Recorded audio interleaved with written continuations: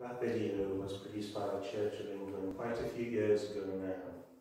But one thing I like about it is it shows a diversity of voices and the situations as well where we can use prayer in, in our front lines in the everyday.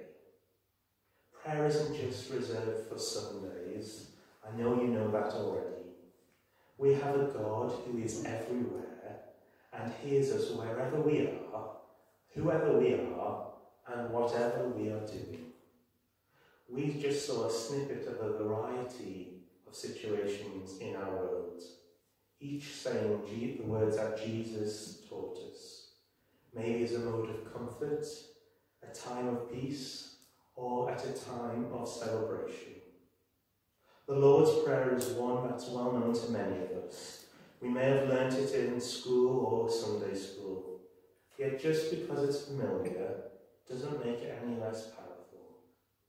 This is a big, big prayer. A prayer not to be offered, um, which we're going to be looking at later in our meeting.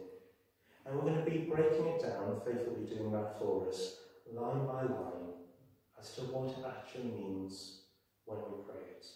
So we're going to think about that just a little later on and then see how we pray it in the days ahead. But just now we're going to listen to the announcements for today. Um, tomorrow night, Monday, 6 o'clock, should be band practice at our hall. All of that is depending on COVID, but at the moment it's all looking positive that it will go ahead. Um, this coming week, there's a couple of safeguarding dates this week for children's safeguarding training.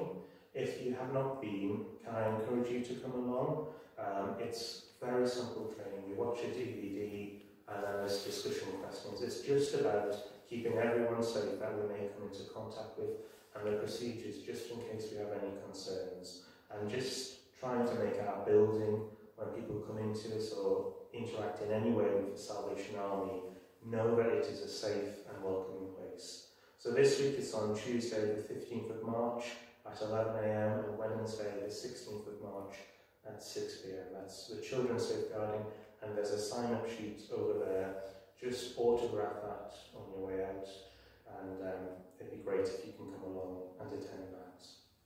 Um, just a reminder due to the number of cases we have on the island at the moment, we're continuing the Scottish regulations at the moment. We're wearing masks unless we're medically exempt. We have sanitizers across the hall. We're encouraged to test regularly before we come and gather. And um, I know you've been doing this for so long, uh, but we just thought it was important just to remind you all again um, of the importance of doing these regular things, these regular checks, um, and having the social distance in place.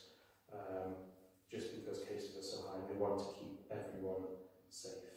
If you can't attend for whatever reason, or if you do test positive or you're a close contact, speak to us, let us know. We can post things out regularly by email. We're also happy to send out the Sunday link in the post, and we're on YouTube as well if you have access to that. But just get in contact with us if you need anything. Um, for those of you who would like to help in the kitchen or the emergency vehicle, you're going to need an up-to-date food hygiene certificate. This training is free, it can be done online. Um, Faith will need to check if you have an account, um, so please speak to Faith after the meeting. Um, but just before Faith comes, that's the end of the announcements. I know it's long, it doesn't make sense, as always, just ask, or if it still doesn't make sense, ask Faith.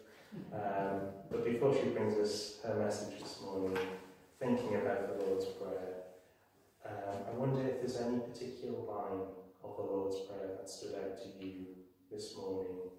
What would that be?